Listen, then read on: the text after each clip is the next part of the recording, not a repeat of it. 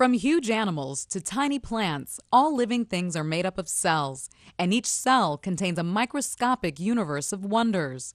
Biochemists and biophysicists are scientists who specialize in living cells and organisms. They study the chemicals, the structure, the actions, and reactions of the building blocks of life.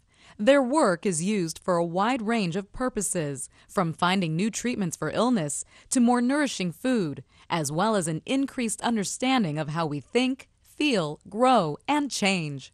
Lay your hands right there, and, and now why don't you try it just to see? Okay. To do this research, biochemists and biophysicists use complex equipment and extensive knowledge gained in college and graduate school.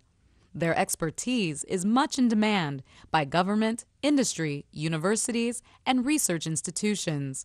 Biochemists and biophysicists usually work in laboratories.